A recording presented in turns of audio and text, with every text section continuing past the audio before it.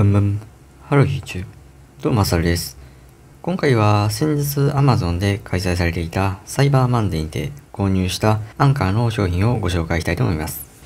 今、こちらに用意しているのがそのアンカーの商品になります。では、まずは一つずつ開封して中をご紹介したいと思います。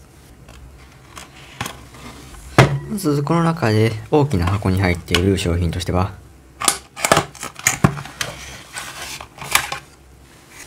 USB-C2C のケーブル。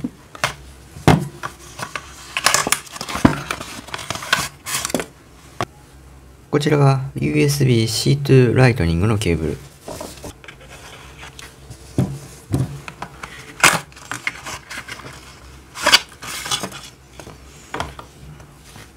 こちらも USB-C2C のケーブルの2本目。次に大きな製品としてはこちら。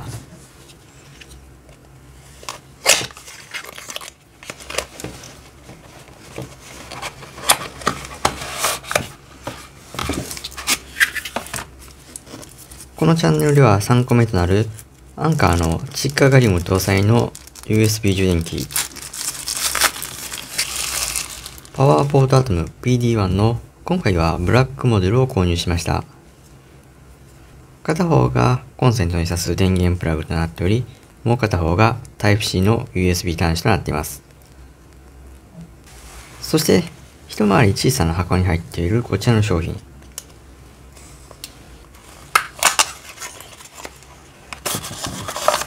こちらは何かというと、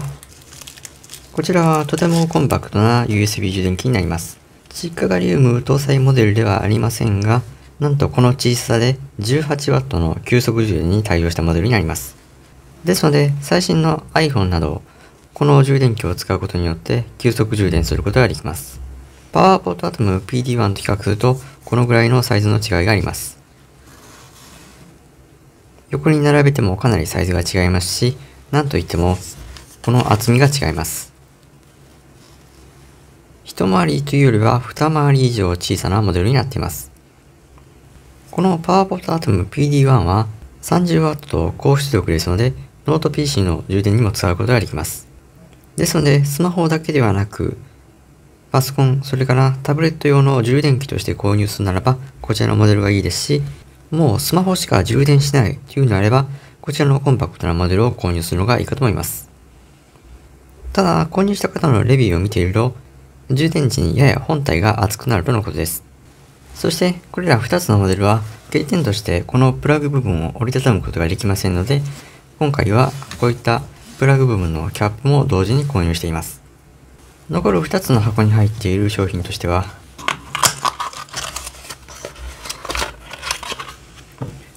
こちらが USB-C と Type-A の端子を変換するためのケーブルになります。やはり今でも Type-A の端子を搭載した機器というのはたくさんありますので、そういったものを Type-C 端子搭載のパソコンなどに接続するためにはこういったケーブルが必要になります。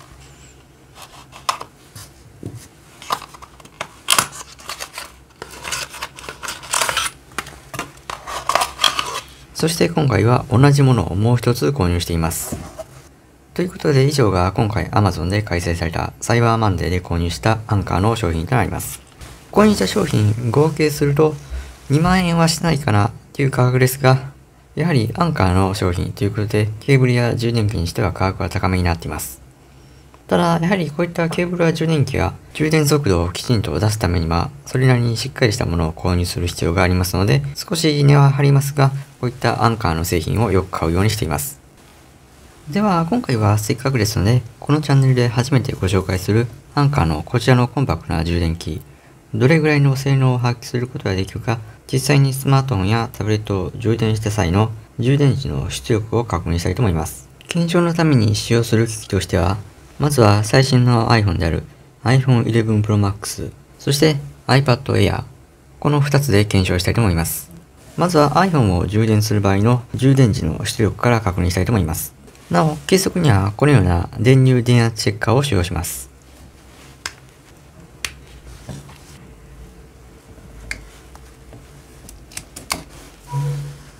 計測した結果はこのようになっています。4.9V、1.5A ぐらいの出力で充電できています。ですので、7W ぐらいの出力では充電できていることになります。18W の充電器でしたので、やや本来の性能は発揮できていないかなというところはありますが、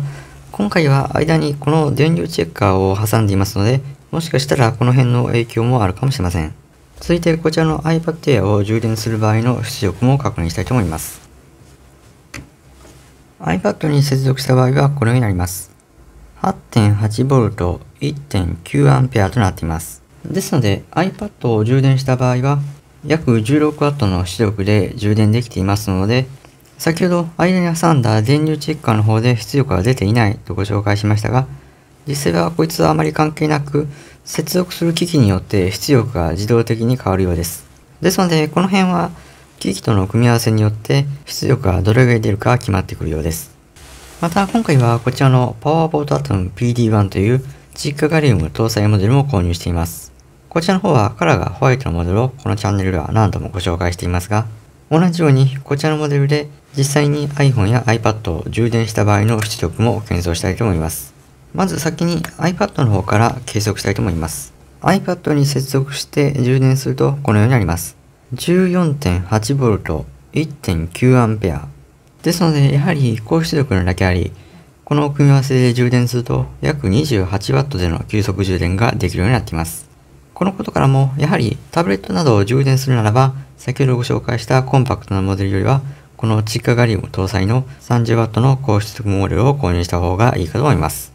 では続いて iPhone を充電した場合の出力も検証したいと思います。今度は 14.8V 1.8A となりました。ですので出力としては 27W ぐらいになります。つまりどういうことかというと、冒頭ではスマホを充電するならばこちらのモデルで十分というふうにお伝えしましたが、今回検証した限りでは、スマホを充電する場合においても、やはりこちらのパワーボートアトム PD1 を使った方が圧倒的に速い時間で急速充電することができるようになります。サイズはかなり違うものの、どちらもとてもコンパクトなモデルです。ですので、今回検証した結果からすると、普段持ち歩くにはどちらがいいかというと、やはりこちらのパワーフォトアトム PD1 の方がおすすめです。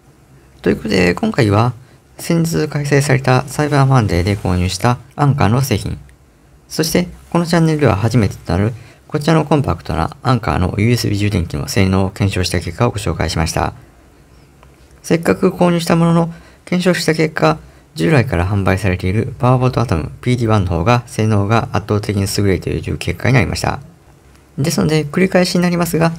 この2つ購入するならば、こちらの PD1 の方がおすすめです。なお、今回紹介した各商品、販売ページのリンクは動画の概要欄の方に貼っておきます。購入を検討されている方、また、詳細のスペックなど気になる方はそちらの方からチェックしてみてください。今回は以上です。グッドボタンとチャンネル登録、よろしくお願いします。